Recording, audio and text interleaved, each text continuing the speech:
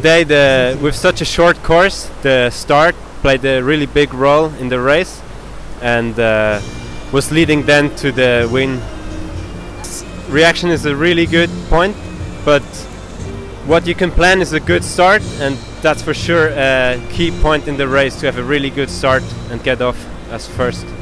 Well, as it's still a really young sport, a new discipline, I think we still have to figure out how to train optimally for this sport. Yes.